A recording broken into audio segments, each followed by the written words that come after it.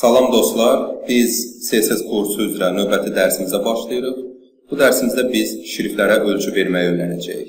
Şriftlərin ölçüsünü biz font size qaydası vasitəsilə verəcəyik.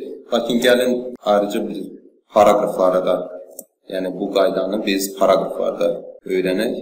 Gördüyünüz kimi P, yəni səhifədəki bütün paraqrafları qeyd etdim və burada şriftlərin ölçüsünü müəyyən edən bir qaydanı yazaq. Bu da font size-dir. Font size. Yəni bu cür yazılır. 2 nöqtə işarəsi qoyuruq və bundan sonra onun xüsusiyyətini qeyd edirik. Keçən dərsimizdə biz qeyd etdik ki, əgər biz şriftin növünü verməsək, o zaman brauzer onu baza şrifti ilə susmaya görə verəcək. Yəni bu Times New Roman olacaq.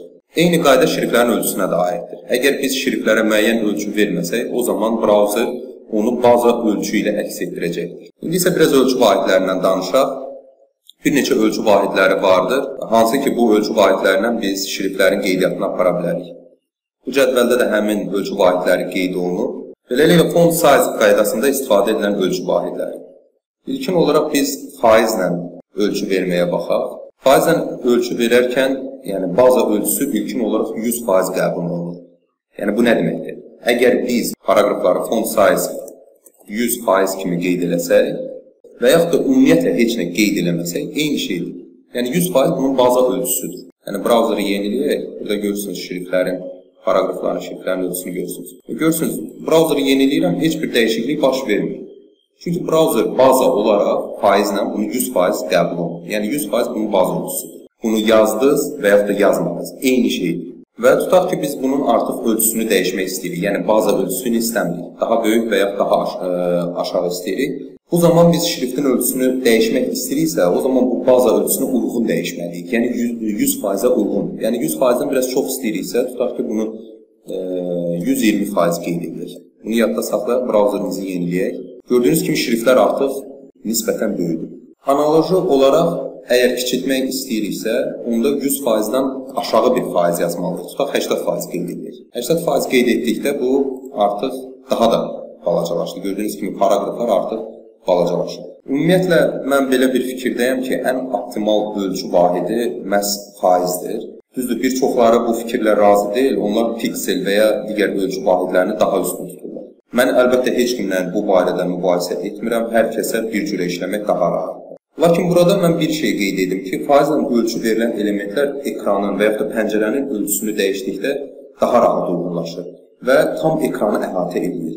Siz artıq gələcəkdə müstəqil surətdə özünüz sayt yığarkən bunun əyani şahidi olacaqsınız və özünüz görəcəksiniz ki, ən unikal ölçü vahidi məhz faizlə verilən ölçüdür. Yəni tutaq piksellə konkret ölçü verirsiniz. Yəni, tutaq ki, pəncərə balacalaşdırdınız və yaxud da böyütdünüz və yaxud da monitorun özü balacadır, həmin o piksellərə uyğun gəlməyən bir ölçüdür. Yəni belə hallar olur.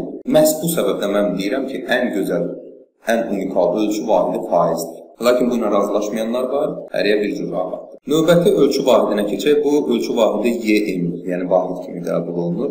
Bunun baza ölçüsü 1 YM-dir.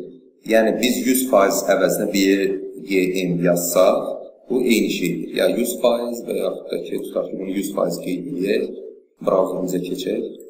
Gördüyünüz kimi bu ölçü vahidi 100% ölçü vahididir. İndi bunu biz 1YM kimi qeyd edək. 1YM. Yadda saxlayaq, brauzerimizi yeniləyək. Gördüyünüz kimi heç bir dəyişiklik baş vermədi. Yəni baza ölçüsü kimi 1YM qəbul olunur. 100% bərabərdir 1YM. Tutaq bunu baza ölçüsündən biraz yuxarı vermək istəyirik. O zaman biz tutaq 1.1YM qeyd edək. Yadda saxlayaq. Brauzerimizi yeniləyək. Gördüyünüz kimi artıq böyüdür. Bu hardasa mənim fikrimcə 115-120 faizə bərabər bir, bəlkə də 110 faizə bərabər bir ölçüdür. Digər ölçü vahidi isə pikseldir. Bu, ən geniş yayılmış, ən çox istifadə edilən ölçü vahididir. Demək olar ki, kod yazan web proqramistlərin 80%-i məhz piksellərdən istifadə edir. Pikselin nə olduğunu yəqin ki, bilirsiniz.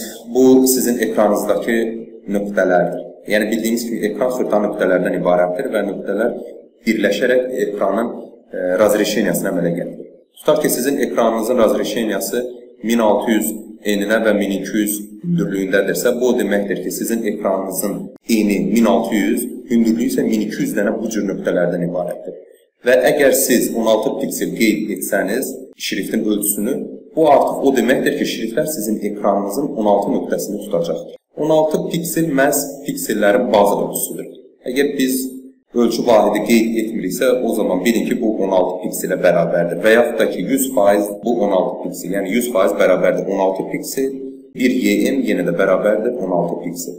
Tutaq ki, bunu təzədən sizə göstərim. 100% qeyd edək. Yadda saxlayaq və qayıdaq brauzerimizə. Gördüyünüz kimi 100% ilə qeyd olundu.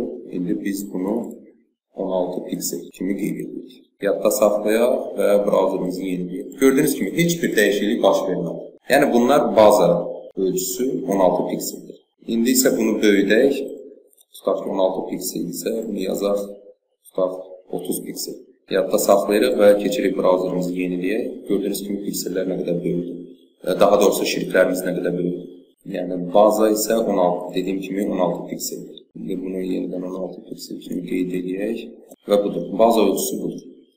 100% də budur, 16 piksel də budur, 1 YN də budur.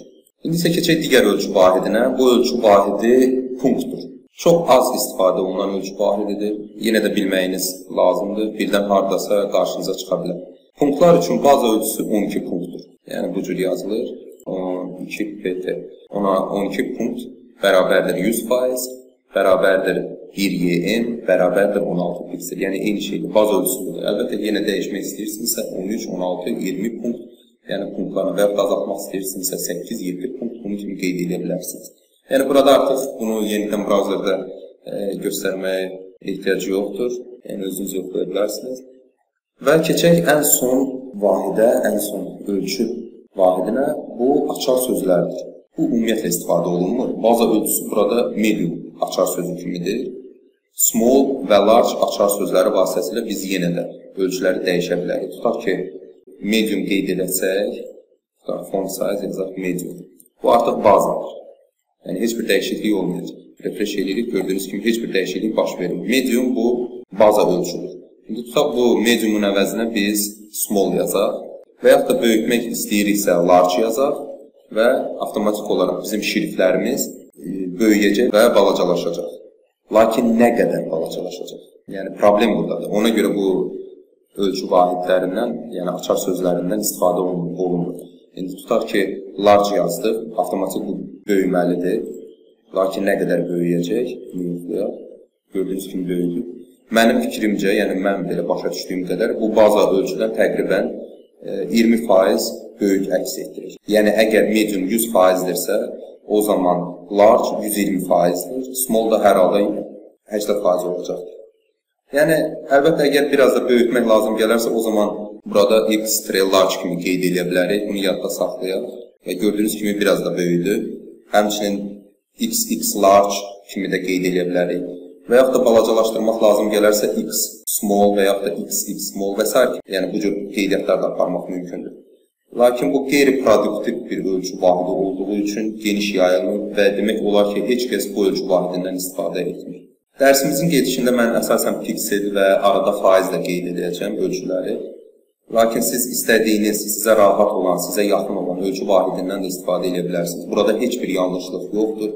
Hər bir şey düzgün əks olunacaqdır. Əlbəttə siz müxtəlif məqalələr oxuya bilərsiniz ki, orada qətiyyətlə sizi inandırmağa çalışacaqlar ki, bu və ya digər ölçü vahidində işləmək yanlışdır və yaxud da ən unikalı budur və s. Lakin bütün bunlar əsassızdır. Sizə hansı rahatdırsa, onunla da işləyin. İstəyir faiz, piksel, punkt və ya YM fərqi yoxdur. Bugünkü dərsimiz bu qədər. Biz bu dərsdə artıq ölçü verməyi, yəni şriftlərin ölçüsünü verməyi də öyrəndik. Növbəti dərsimizdə isə biz artıq qalın və kursiv şriftlərin qeydiyyatının aparılmasını da öyrənəcəyik. Sağ olun, gələn dərslərə dək.